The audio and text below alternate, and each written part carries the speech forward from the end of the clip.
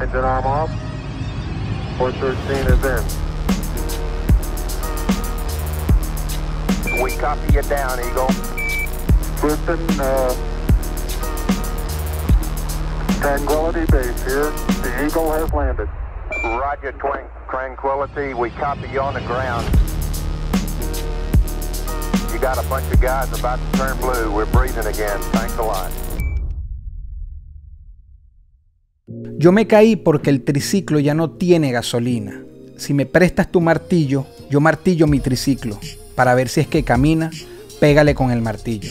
Con nosotros, Acier, Caramelos de Cianuro, soy NK Profeta y esto es Tenis que dejan huella.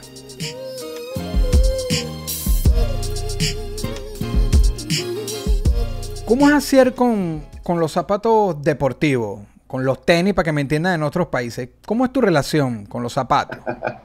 Bueno, es una relación, yo creo que como la de todo el mundo, por una parte deportiva y por otra parte también, digamos, de, de, expresión eh, personal, de expresión de moda, digamos, un poco de fetiche también, ¿no? No soy un freak de los zapatos, pero, pero tengo, pero sí me gustan, digamos que, me, que, que lo veo como algo, yo realmente con la ropa eh, eh, he aprendido a, vestirme mejor con el tiempo, porque yo vengo como de una de un, de un origen más punk, ¿no? Completamente. Nosotros veníamos de, de, de Sabana Grande, de, de, cuando uno era ponqueto, tú sabes, más bien el estilo era, era como el, el, el, el antimarca un poco, ¿no? Entonces digamos que poco a poco también, como cuando uno, cuando uno se va poniendo más viejo, te tiene que arreglar más también, porque no queda, no queda más remedio, cuando uno echamos todo te queda bien, ¿no? y, y eres esto puede sonar un poco como de cliché de parte mía, pero eres de Converse. Yo te veo de Converse. Mucho Converse. Mucho, Converse, mucho Vans. Siempre me han gustado mucho los Vans además soy, además soy surfista, ¿no? Desde niño, entonces, bueno, siempre la moda, la moda del surf y la patineta, y me gusta mucho el hip hop también. Yo viví de chamo muchos años en Estados Unidos, entonces llegué aquí como con, como con mucha, mucha, mucha información de lo que, de lo que era la, la, escena del rap cuando estaba empezando el rap, ¿no? En los 80, digamos, yo todo eso lo vivía allá. Entonces, digamos que todo me, me, trae un poco de toda esa, de esa, de esa eh, eh, digamos, esa moda urbana, ¿no? Si se quiere, de, de, esa, de, esa, nueva, de esa nueva manera de vestirse, ¿no? Siempre me ha gustado también, a, pesar de que soy un rockero. Claro, y como tenía, pero eres venezolano, a fin de cuentas nosotros, yo soy rapero, pero soy demasiado rockero. Nosotros somos un poco más, no sé si mente abierta a veces, pero, pero bueno, a veces, porque hay momentos que sí somos más cuadrados, pero consumimos lo que nos gusta. Sí. Como tú tenías más acceso por estar en Estados Unidos cuando eras un niño, y después te vas a Venezuela, ¿hubo algún zapato que alguna vez hayas querido y, cuando niño a lo mejor no pudiste? Los Vans. Unos Vans. Los Vans. Definitivamente los Vans eran, claro, cuando yo estaba chamo, cuando yo tenía 12, 13 años, era, bueno, no teníamos realmente, nosotros nos venimos de una familia clase media, clase media baja, ¿no? Este, y, para nosotros comprarnos unos Vans era como lo máximo, ¿no? Yo pasó mucho tiempo, yo cuando tenía 12, 13 años mi mamá no tenía para comprarme unos Vans, ¿no? Entonces cuando, cuando tuve mi primer Vans, así como que, wow, los Vans, ¿no? Tú viviste Nueva York, Pensilvania, Denver, ¿cierto? Sí. Ok. Eso tiene que haber, eso tiene que haber sido un factor, soy yo diciéndolo acá, pero un factor diferencial para que Acier haya sido tan distinto y revolucionar a Venezuela musicalmente como lo has hecho desde el día uno hasta el presente? Esa inyección de Estados Unidos que quizás estaba más avanzado en música o no sé si más avanzado, pero que, que había más diversidad, tanto que oír, influyó en ti para que llegaras a comerte Venezuela, a pesar de que estabas pequeño, pero te dejo eso. Claro, eh, hace que uno sea distinto, ¿no? Yo, tuve, yo en el momento no lo, no lo vi, pero el, el, el tiempo, el par, el par, de años que estuve en Nueva York, imagínate tú, en el, en el sería 85, 84, 85, ¿no? Entonces, que tiempo que estaba empezando. Época y, y, y, de hecho tuve mucho contacto con el, con el, rap, ¿no? Cuando ni siquiera la gente sabía que iba a ser una, una cultura tan, tan, tan importante y que todavía hoy en día te, tengamos los, los, grandes artistas que tenemos eh, nacionales e internacionales haciendo rap, ¿no? Entonces digamos que siempre, siempre estuve como metido en esa cosa y siempre me gustó mucho, mucho el, el, rap, ¿no? A pesar de que, y, por eso también me gusta mucho la rima, es algo que me interesa y llegué para acá con mucho, con mucho de eso, claro que sí, la gente me decía rap, a mí me decían el gringo, yo pasé de,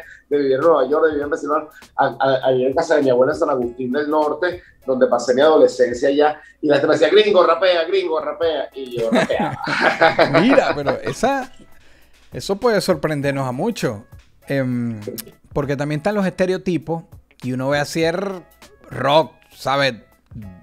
A pesar de que te dije que, que un- uno escucha de esto y aquello, también había momentos que éramos, tú eras muy punk, eras anti todo lo demás, igual del otro lado, uno de verte, yo no lo hubiese pensado.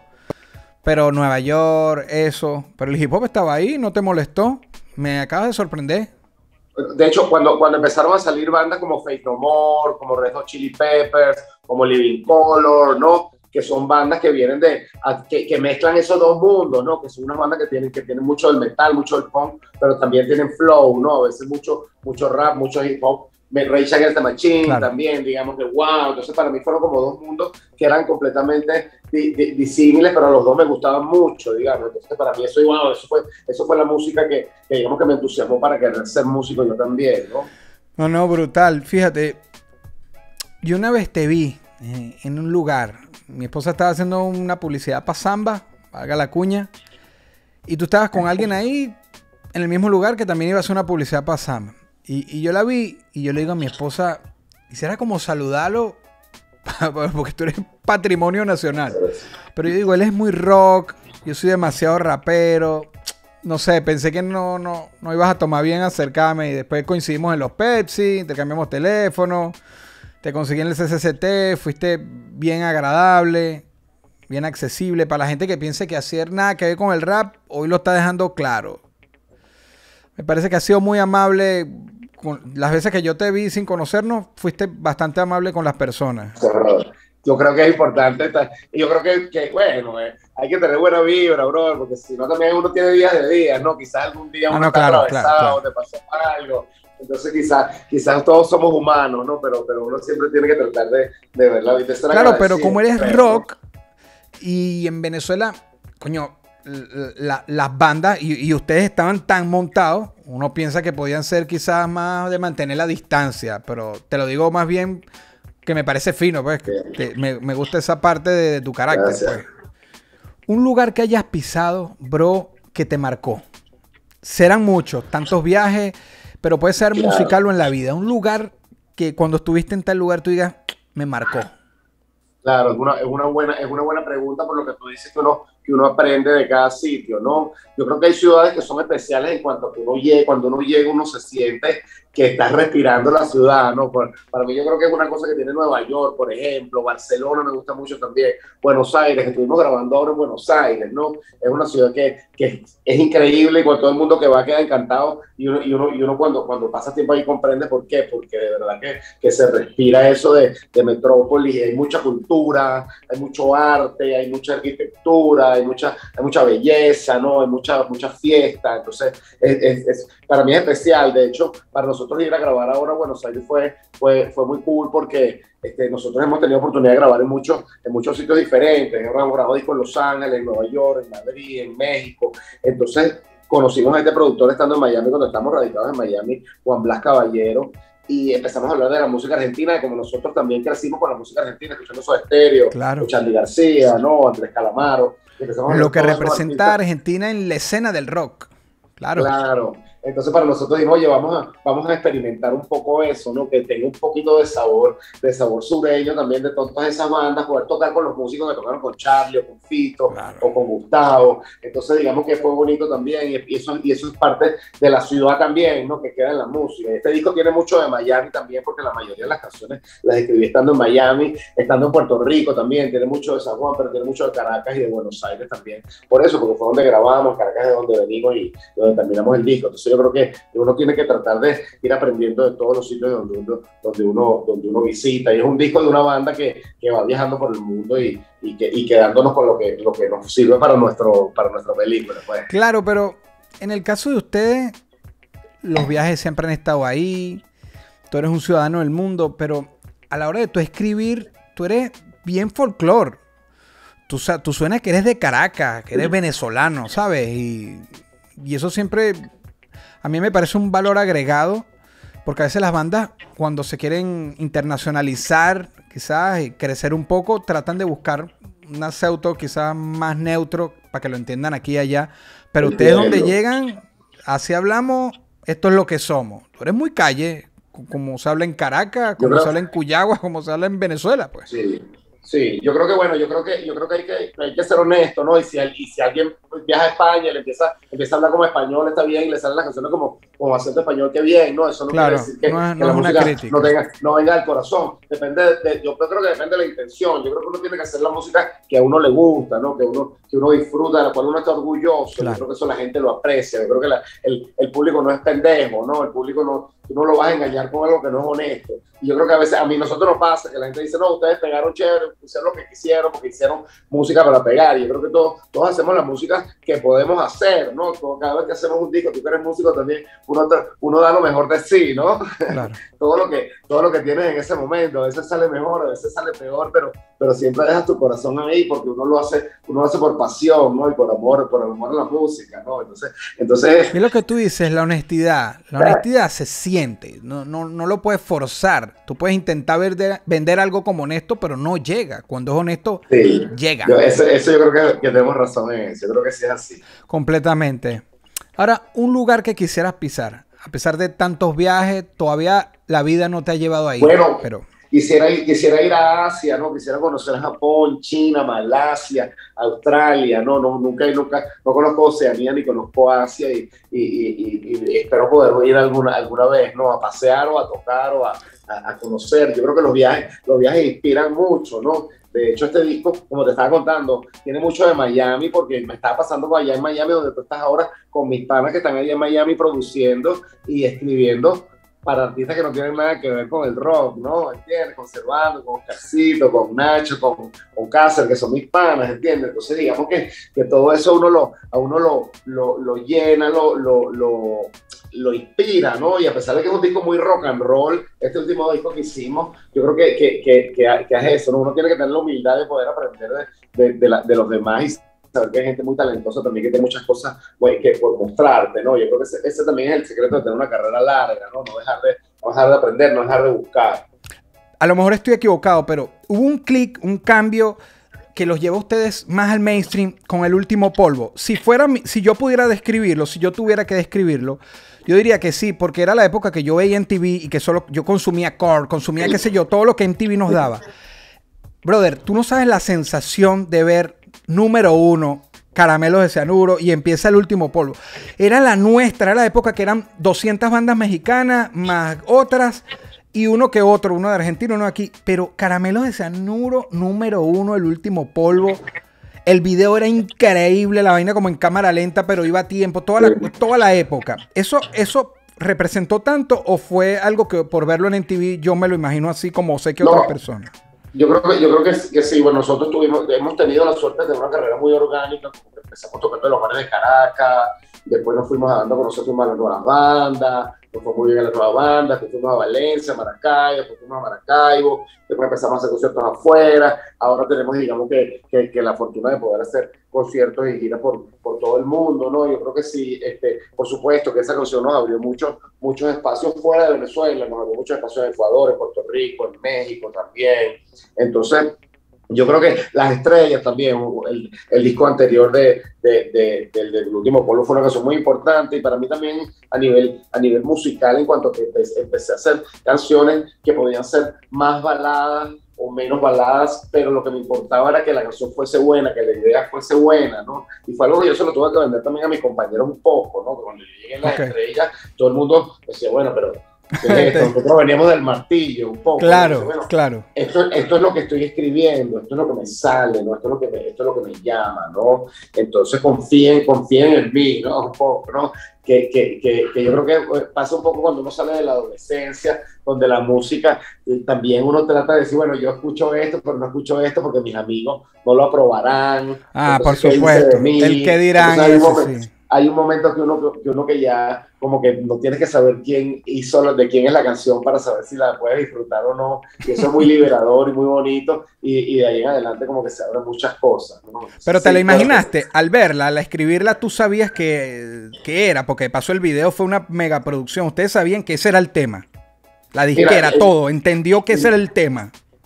Eh, no, no, realmente es muy difícil de saber. A veces uno mismo es el, es el, peor escogiendo las canciones porque, porque a uno le gusta por otras razones que no necesariamente son las que le gustan a la gente, ¿no? Yo creo que es lo que lo hace bonito y lo que lo hace misterioso, ¿no? A veces tú dices, okay. hay canciones de las cuales yo estoy muy orgulloso que no necesariamente son las más exitosas y viceversa. A veces hay canciones que son muy sencillas, que, que, que, que aluden a algo que, que, a la gente le, le, le, le gusta, ¿no? Entonces eso, eso, es lo bonito, ¿no? Uno siempre trata de hacer lo mejor que pueda, ¿no? Y, y deja el corazón ahí, ¿no? Y, Ese tema de los más dedicados en, en el mundo, pero seguimos. Mira, yo hoy estoy estrenando un, una sección aquí que, por cierto, nació de, yo, en estos días estuvo Oscarcito acá en persona y, grabó, y ahorita que lo nombra, y él me estaba hablando que un, un lugar que, le cambia la vida, que fue en Amazonas y unas ayudas que él fue a hacer allá. Y entonces yo ahora quiero hacer algo que se llama Sigamos tu huella. En este caso, yo quiero hacer que me recomiendes un lugar de Venezuela que tú, que tú consideres que, que todo el mundo debería ir, aunque sea una vez en la vida ahí. Que tú, eh, sabes, como fomentando el turismo de cierta forma, pero que tú digas, mira, en Venezuela no debes, no puedes dejar que, que, vayas a tal lugar, tienes que ir a tal lugar.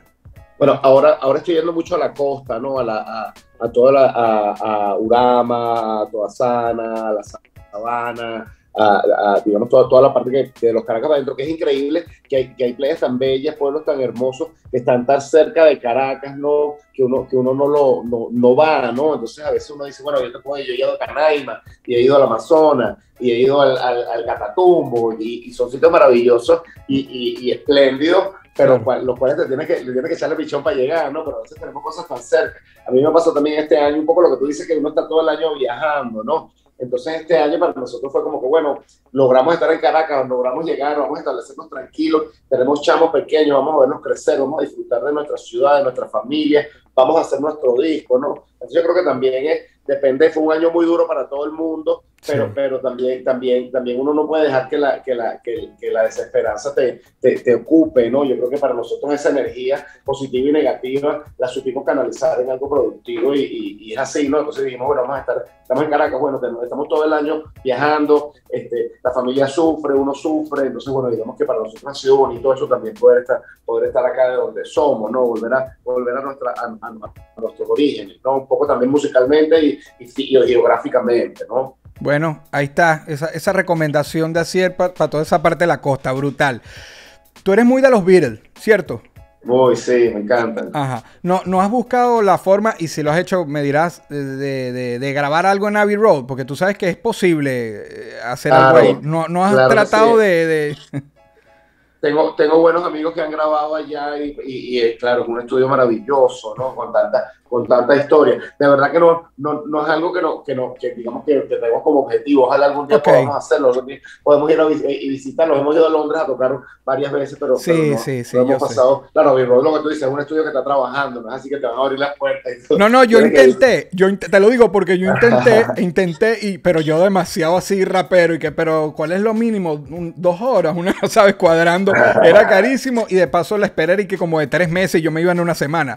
Pero es como solo por sentir, eh, ¿sabes? Como, la, no sé, la energía que siento que hay ahí. Yo nada más con tocar las paredes era como que, wow, todo lo que pasó aquí. Pero, sí. pero brutal. Mira, el momento unboxing, el unboxing de Acier. No vamos a abrir una caja, es, es de, de Acier.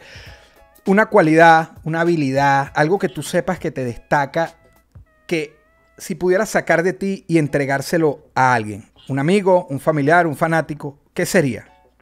Bueno, me gusta mucho cocinar, es algo que es, es como mi, mi, mi, destreza, no tan oculta porque, le, le, cocino a los amigos, a mi novia, a la okay. que me rodea, a mi, a mi familia, ¿no? Y de, y de, hecho ahora que he estado más tiempo acá en, en casa, digamos, entonces como que me, me, he reencontrado con la cocina, me he comprado los utensilios que hacen falta, entonces es algo que además yo creo que es muy, muy también, muy de nosotros que somos eh, intérpretes, que estamos en la tarima, tiene un poco eso de performance, ¿no? De que, de que hay, una, hay, una, hay un aspecto eh, narrativo, ¿no? De la comida, ¿no? Y, y muy sensual también, ¿no? Me gusta mucho me gusta mucho cocinarle a mi novia, me gusta mucho cocinarle a mis amigos y, y, y, lo hago muy bien. No, no, está bien que lo diga, pero, pero lo hago muy bien. No, estás consciente, sí, sí, sí. Está bien, oye, bien, ¿no? Esa no, no, no, me, no la vi venir. bien.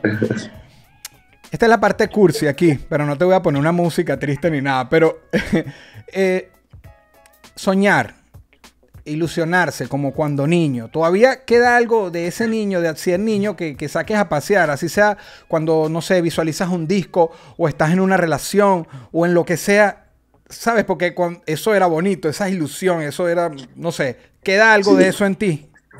Claro, de, de, justo ahora estábamos estábamos terminando de hacer una entrevista con, con un, un, medio mexicano y le estaba contando, le estábamos contando, Pavel y yo, que este disco para nosotros fue un poco el, ese retorno al, al, a la inocencia y al placer de hacer música, divertirse hacer música. Pasa, es muy bonito cuando uno puede vivir de lo que, de lo que uno le gusta, ¿no? de la pasión, que, que es una, una bendición que nosotros hemos tenido, de lo cual yo soy muy agradecido todos los días, me, me, me, me, me despierto agradeciendo a la providencia de poder hacer lo que, de vivir mi sueño de chamo, ¿no? Pero por otro lado, cuando empiezas a ver, a ver, la música de una manera profesional, entonces tienes que pagar el colegio del chamo, te tienes que pagar el giro del carro. Las prioridades.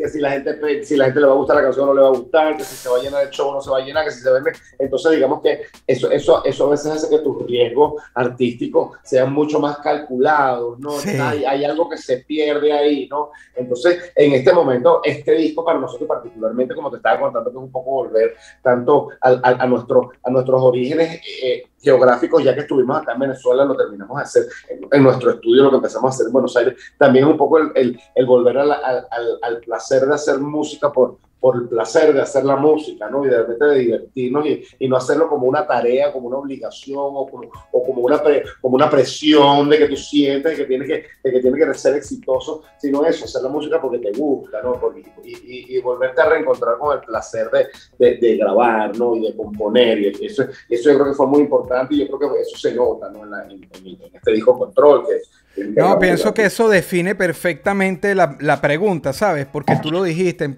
el pago, la cuestión, la, las prioridades ya cambian y, se, eh, te entiendo. O sea, pienso que lo, definiste perfecto y, y, entonces este viaje se lo deben haber gozado muchísimo. Hablo del viaje de esta creación del disco y todo ese proceso. Brutal, brutal. Un, un siguiente paso en tu carrera, en tu vida que puedas compartir, porque obviamente uno se reserva las cosas, pero ¿cómo te ves de aquí a un tiempo? No sé, ¿te ves viviendo orilla de playa, surfeando todo el día? ¿O te ves cantando hasta la edad de Mick Jagger y más allá? ¿Cómo, cómo te ves ahí?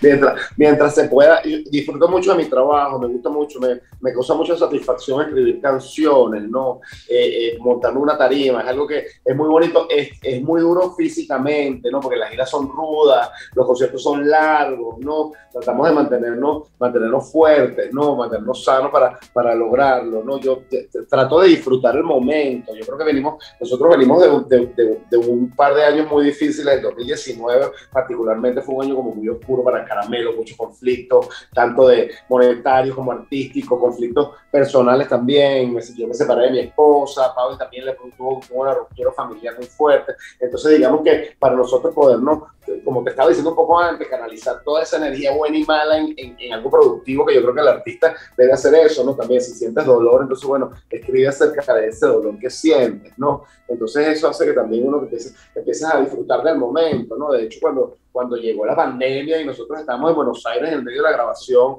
dijimos, bueno, ¿qué hacemos ahora? Dijimos, bueno, vamos, vamos a llegar a Venezuela, logramos pasar, llegar a Venezuela uno de los últimos vuelos que entraron, pero estamos acá, vamos a tener nuestro disco, vamos a, lo que te dije, vamos a descansar, vamos a hacer ejercicio, vamos a ver a nuestra familia, vamos a trabajar, ¿no? Ya, ya pasará, ¿no? ¿Entiendes? No somos un poco Hakuna Matata, ¿no?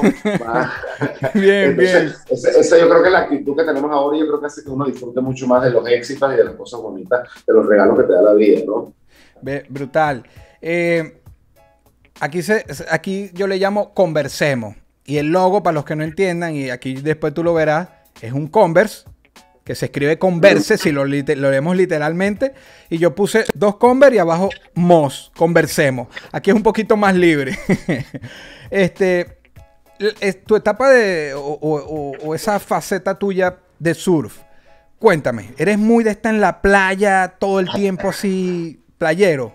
Me gusta mucho, me gusta mucho, este me gusta mucho el deporte, el ejercicio físico. No soy particularmente bueno, o sea, surfeo, me gusta, me disfruto. Tengo amigos que, que son mucho mejores que yo, ¿no? Y, y, y, pero, pero es algo que digamos que además que de, de, del ejercicio físico que me, que me, gusta mucho en general, es, un, es muy bonito, es un deporte muy bonito, ¿no? Es un momento muy, muy hermoso que, estás contigo mismo, ¿no? Entonces digamos que, que, que hay, hay, algo, hay algo como místico, ¿no? En, en, todo lo, en todo lo del surf, ¿no? Y el que, y el que se ha surfeado y el que surfea sabe de lo que le estoy hablando, un momento muy mágico, ¿no? Que uno está buscando, que puedes estar tres horas pues, metido en el mar y no agarras nada y de repente estás 10 segundos, 15 segundos encima de una ola y hace que todo valga la pena, ¿no? Es sí. extraño y, y, y, mientras lo pueda seguir haciendo lo hago, ¿no? Como te digo, no, Estoy, no, te, no tengo un nivelazo, pero, pero sí, sí me voy. Bueno, te, no, el, okay.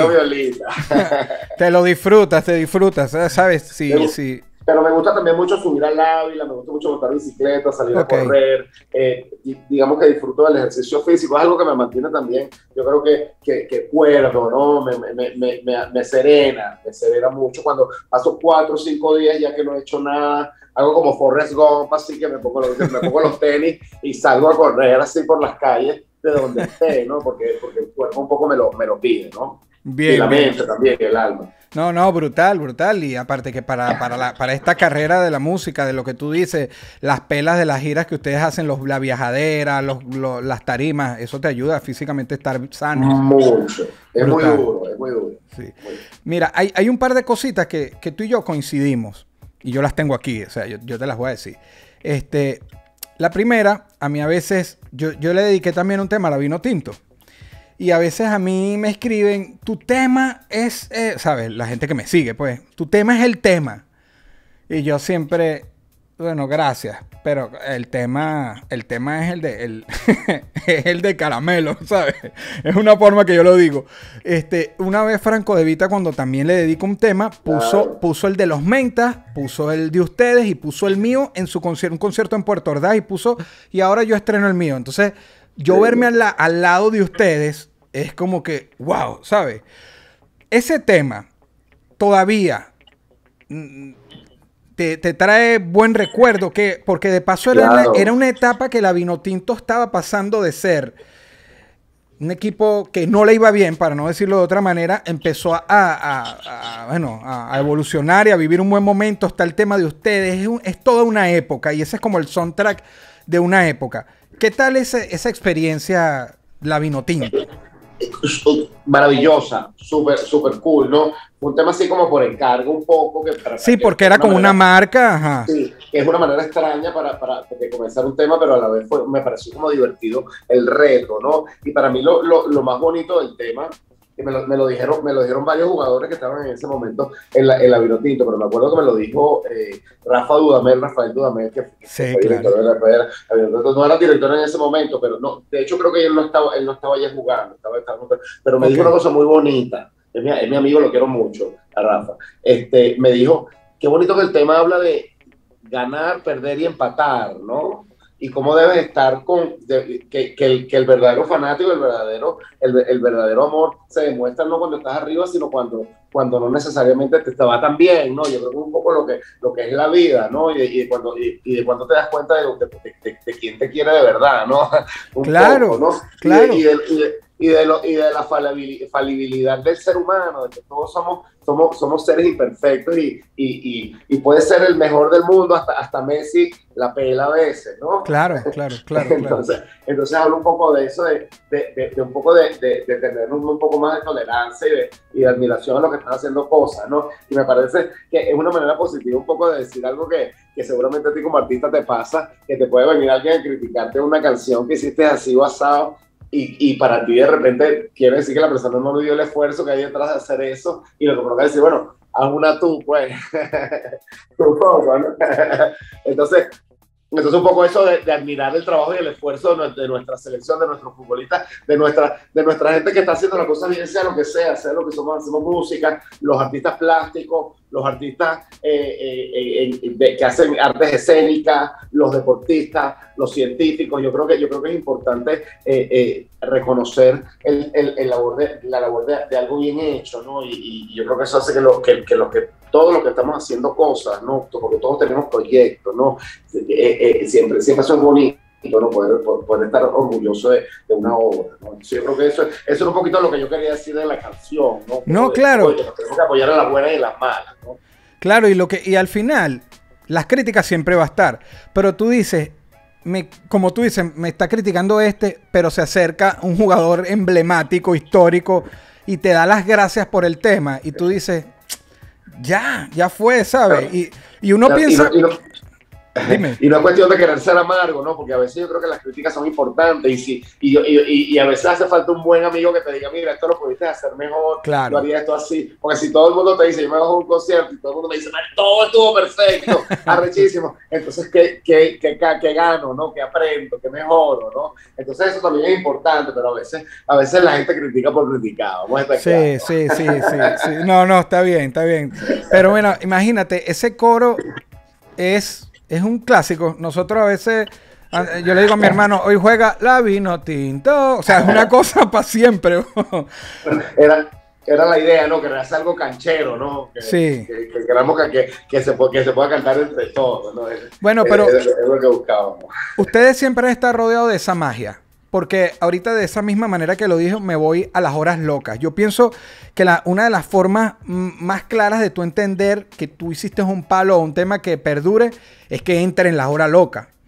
Este, yo también lo hablaba con Oscarcito, el hacha, ok. Pégale con el martillo, pa, pa, pa, pa. O sea, eso es la hora loca.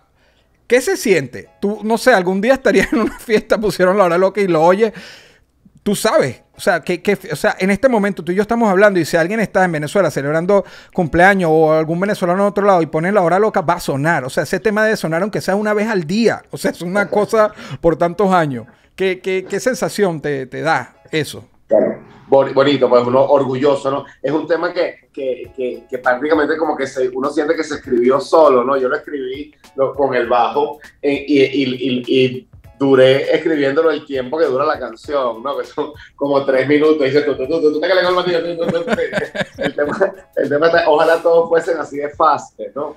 Claro. Pero yo creo que hay algo, hay algo bonito, hay algo mágico en esos momentos, que, el tema como que, como que nace solo y tú eres un poquito como un vehículo nada más, ¿no? Que uno siente que no lo, que no lo hizo uno, ¿no? Es curioso y, y a veces es, muy raro, no es, algo que, no es algo que pasa siempre, por lo general hay que trabajar mucho. Yo, trabajo mucho en las canciones, me- soy muy cuidadoso con la composición, me gusta que todas las, todas las sílabas están en su sitio, todas las, todas las melodías terminan de una manera elegante, ¿no? Soy, soy muy técnico, pero a la vez a, a veces hay cosas que, que, que, que te, que te lanzan las musas, la providencia, vienen de algo, de algo sobrenatural y uno las acepta. Es un tema que yo sabía que iba a gustar mucho, de hecho es muy curioso porque a la disquera no le gustaba, nosotros estábamos muy chamos, yo tenía Wow. 20 años cuando hice, cuando hice la canción, a la disquera le parecía muy pesado, no sé, no le gustaba, la, y, y fue un tema que empezó a sonar eh, por sí solo, porque nosotros nunca lo promocionamos, nunca fue sencillo, nunca lo llevamos a la radio, alguien lo empezó a poner y empezó a gustar, a gustar, a gustar, y bueno, y hasta, hasta, hasta hoy es que todavía lo que tú dices que suena. Yo sé que ahorita, ahorita está sonando en algún lado. Además es un tema, es muy loco porque es un tema muy pesado. Claro. muy- es de los temas más pesados que nosotros tenemos, pero por alguna razón tienes, a los chamos les gusta mucho también, a los Sí. niños, Yo creo que tiene un- es un poco un tema que tiene un poco de eso de caricaturesco, ¿no? Y además, bueno, tiene eso que dice pégale con el martillo y después hacer tú. No, y la batería, pa, pa, pa, pa, pa, pa, que es pa' un trancado. Sí. Sí, sí, sí, es duro, sí. Pero- ahorita pero pues. Ahorita hablaste de eso, de las generaciones, ¿no? Y, y- y esa magia, que eso, eso lo, lo persiguen todos los músicos, pero no todos están tocados con esa varita, lo tiene Caramelos de Cianuro. Este. Yo escuchaba Pégale con el martillo y escuché otras más, pero por ponerme en aquella época, luego mi esposa Verónica, escuchaba Verónica y mi hija hasta hace nada también con mi esposa, pero escuchando La Casa.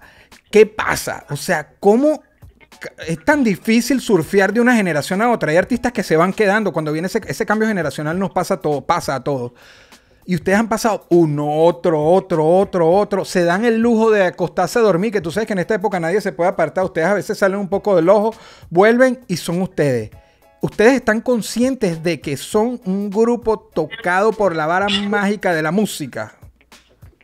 somos muy agradecidos en, en ese aspecto. Es muy bonito cuando uno va a un concierto y, y, y, ves en el público, cuando es un concierto y ves en el público que de repente están los papás con los chamos y están cantando las canciones juntos, ¿no? Entonces esa, esa cuestión intergeneracional es algo que nosotros somos muy agradecidos. No te tengo una respuesta, ¿no? No sé por qué, eh, qué, qué, qué, bonito que es así, qué bueno, ¿no? Es algo que, es algo que, que como que tú dices, que, que es algo que, que, viene por, por la providencia, uno no sabe de dónde viene, ¿no? Trata, tratamos de hacer canciones bonitas, canciones, yo creo que una buena melodía debe perdurar en el tiempo, no, todas, no, no con todas sucede, ¿no? Pero, yo creo que hace, que hace que valga la pena tanto esfuerzo, tanto sacrificio, tanto, tanto trabajo, ¿no? Dejar algo que, que, que, que, perdure, ¿no? Tratar de, lo que tú dices, tratar de dejar una huella, ¿no? No, no, brutal, brutal. Y, y, es como tú dices, que eso no tiene una fórmula. Porque es que tú no aunque la vendieras hoy aquí, no la hay, porque, porque la usara todo el mundo. Es, hay gente que está tocada y, y brutal. Sí, bueno, eh, y yo creo que el arte en general es, es lo que, eso es lo que lo hace hermoso, que, que, es el misterio, ¿no? Que dos más dos no son cuatro, ¿no? Y cuando, cuando, estás hablando de, cuando estás hablando de arte, no solamente la música, el, arte en general, y, y, es lo que hace que, que, nunca, nunca se acabe la búsqueda, ¿no? Que uno siga siempre, siempre tratando de, de perseguir esa, esa idea, ¿no? Ese, ese disco perfecto, esa canción perfecta, y, y, es lo que hace, y, el hecho de que sea difícil es lo que hace que sea satisfactorio también, ¿no? Si fuese fácil, este, no, sería, no sería tan bonito, yo creo, ¿no? Sí, como lo dice, esa subjetividad en el arte lo hace como que la búsqueda es infinita, ¿sabes? Es como que brutal. Te tiene que, te tiene que, gustar a ti, te tiene que gustar, a la música que, que, te divierte, la cual tú estés orgulloso, déjalo, déjalo todo en cada canción, sé, sé, generoso con el público, la gente te está, la gente te está regalando tres minutos de su vida que nunca más nadie se los va a devolver. Te, los está, dando, ¿entiendes? Te está dando vida, entonces respeta ese, respeta ese tiempo que te está dando la gente, dando siempre lo mejor de ti, ¿no? Yo creo que eso para nosotros, para mí por lo general y para nosotros, para la banda, siempre ha sido como, como, como, como la premisa, ¿no? Este, el respeto al público, el respeto también a, a, a, a, tu, a tus compañeros, a la gente que está trabajando contigo, ¿no? Rodéate de gente buena para que te respete y también, y la respetes tú, ¿no? ¿Te consideras que eres la piedra en el zapato de alguien en este momento? Ay, esperaría. Que no creo, no, no. Yo creo que, yo creo que uno debe tratar de no joder mucho. Es una, es una, es una, es un consejo que yo le digo a la, siempre a mis amigos cuando tienen problemas con su novia o con su familia. No le, no le armes tanto peo. No te, trata de no hacerte sentir tanto, por lo menos en, estos días.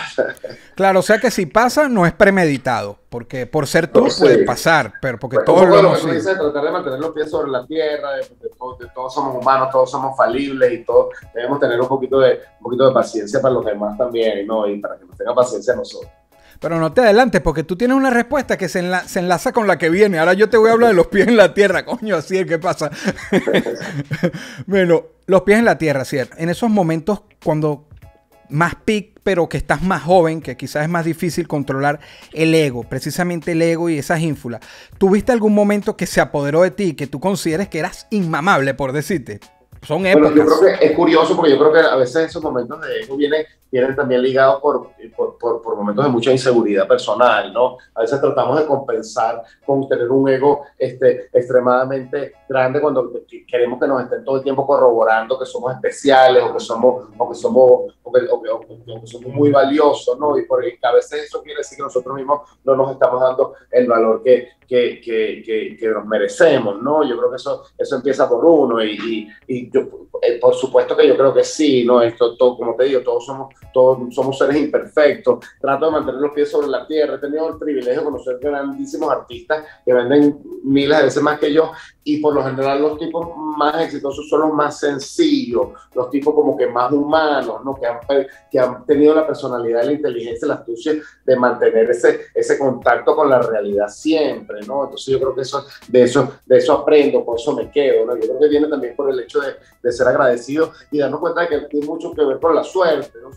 yo trabajo muy duro para lo, para lo que tengo, pero también mucha gente trabaja muy duro, ¿no? Y, claro. no necesariamente se le han dado las cosas. Y hay mucha gente que es 100 veces más talentosa que yo, que quizás no, no, tuvo, no tuvo el timing o no, no, sucedieron las cosas como tenían que suceder. Entonces yo creo que eso es importante para mantener la humildad, darse cuenta que todo es, que todo es fortuito un poco, ¿no? Y, y ser agradecido por la buena fortuna que nos ha tocado. Una anécdota cortica que nos puedas decir de una, de una metida de pata que te recuerdes. Bueno, yo creo que un- uno aprende, uno aprende mucho más de, los de los errores que de los aciertos, ¿no?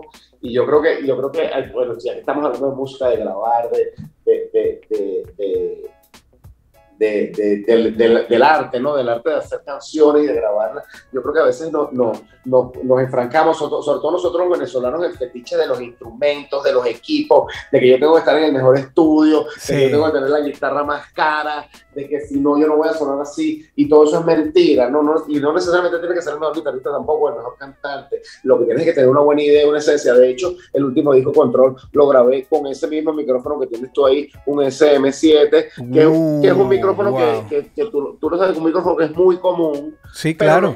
agarrado con la mano como si fuera un micrófono de, de, de un ángel, porque me lo vacilé, ¿no? Entonces, digamos que ya llega un momento como que, que cometes tantos errores que ya sabes lo que vale y lo que no vale, ¿no? Entonces, pues, este disco no es particularmente caro, pero suena muy bien por eso, por todos los errores. Yo creo que no puedes estar en un estudio que valga miles de dólares al día y, y, y, y si no tienes las canciones o si no tienes la química o si la banda no está, no está fluyendo como tiene que fluir, entonces, entonces no no hay, hay cosas que, que, que, que el dinero no las puede sustituir, ¿no? Yo creo que eso es lo bonito del arte también. Y eso es lo que me gusta mucho del hip hop también, que de repente un, un pana con una laptop y con un SM7 en su cuarto, pueda ir tipo hizo Old Town Road, ¿entiendes? Entonces, Claro, todo claro. es posible, todo es posible. No es la flecha del indio. Todo es posible, todo Claro. está, está ahí para nosotros. La música está ahí, las palabras están ahí, las notas están ahí. Entonces, entonces no, hay, no hay excusa para no salir y así dar lo mejor de ti. Tu top 5 bandas venezolanas, las que te gustan a ti. El tóxico de Acier. Bueno, eh, eh, bueno, me gustan mucho las grandes, por supuesto, Sentimiento Muerto con el cual crecí, ¿no? Este, eh, Amigos Invisibles, que son nuestros hermanos con los cuales nosotros, eh, por supuesto, crecimos siempre. Me gusta mucho La Corte, es una banda con la cual, de hecho, yo venía como, como, que de rap, rap, rap, y cuando salió La Corte, digo, no, yo no sé rapear, ¿no? Ahora todos son mis hermanos, los quiero y los admiro y, todo el tiempo hablo con ellos, con 13, con Bostas, con, digamos, con, con, con, muchos de ellos, ¿no? Los quiero mucho, con, con, Carlos Mader también, Civilino, lo, lo- Sí. es, es, es mi pana del alma, digamos que tenemos una admiración mutua y un, y un cariño que nos, que, nos, que nos une, ¿no? Digamos que más allá del rock and roll, ¿no? Ha habido tantas bandas buenas, por que la muy bestia pop, pero una banda que en mi época que también que fue muy influyente, ¿no? Este, hay, hay tantas, no sé, no sé cuántas llevas. No, me gusta ya, mucho sí. Lazo. Me gusta mucho Lazo también, hacen muy bien los mesoneros, los chicos que están allá todos en México, vinilo, eh, ta- tantas, ¿no? Ta- Tantos, tantos amigos, ¿no? Ahora los chamos tocan, ahora los chamos tocan mejor, ¿no? Nosotros no tocamos también. No. Han habido zapatos que marcaron una época. Si tú, si hubiese hoy, hipotéticamente, una máquina del tiempo que solo te permite ir hacia atrás, a otra época, la que sea, con todo eh, lo que sabes hoy, ¿dónde te gustaría ir al pasado? Al- alguna época del pasado. Puede ser tu propia época o más lejos.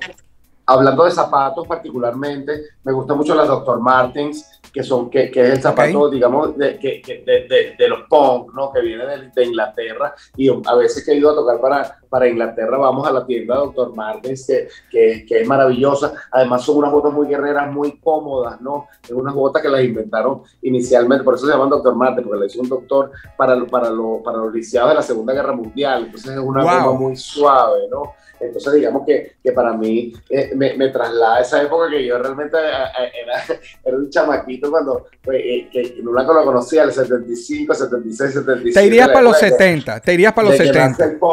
Bueno, me gusta mucho los Ramones, me gusta mucho The Clash, me gusta mucho ese, esa, eh, eh, esa, esa música que con, tanta fuerza, con tanta energía, que esa, esa, esa actitud rebelde, ¿no? Y eso, y eso me lleva para, para mi bota Dr. Martin, que tengo muchas y ahora te las muestro. No, no, no. Bien, bien, hermano. Mira, aquí no tienes que entrar en, en- en explicar el porqué, solamente el, el nombre. No quisieras, sin quererte problemar con nadie, porque no es la idea, pero no quisieras estar en los zapatos de quién, sin explicar el porqué. Puede ser cualquier persona del planeta. Wow, qué buena, qué buena, qué buena pregunta, ¿no? Yo creo que uno, uno también lo que pasa es que ve las cosas buenas. Lo que pasa es que lo- yo creo que todo- todos los que quisieran tener los zapatos, entonces ya, ya están muertos. Entonces, entonces prefiero quedarme en los míos. Por, ok, no quisieras estar en los zapatos de momento de nadie, porque ahora viene, ahora viene otra, viene otra relacionada. Ajá. Ok. tienes 20, esta es la última, con esta nos vamos. Solo por 24 horas. En los zapatos de quién Asier quisiera estar y por qué. Solo por 24 Qué horas. buena, qué buena pregunta, ¿no? Bueno, me imagino. Bueno, como buen surfista me gustaría ver Kelly Slater porque, porque se surfea las mejores olas y uno lo ve y así que es como nuestro Messi, ¿no? Un poco, ¿no?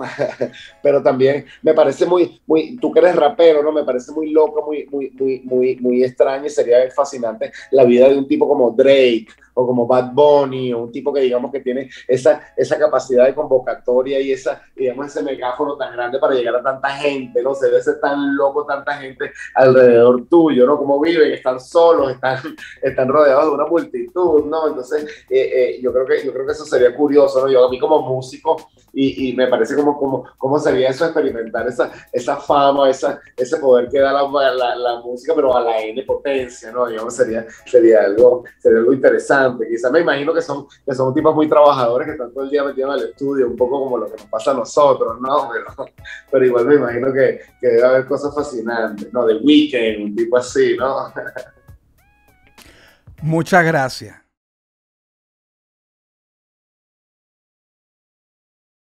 Esto fue una producción, esto fue una de producción. El Corillo Inc. Distribución digital, campañas y crecimiento en YouTube y Spotify. Te inscribimos en Nazca. Trabajo con ellos. Escríbenos. elcorilloin.com. DJ Pijama. Producción ejecutiva. Y para cerrar, este servidor. NK Profeta Under Family. Porque lo que importa de la huella es quien la dejó.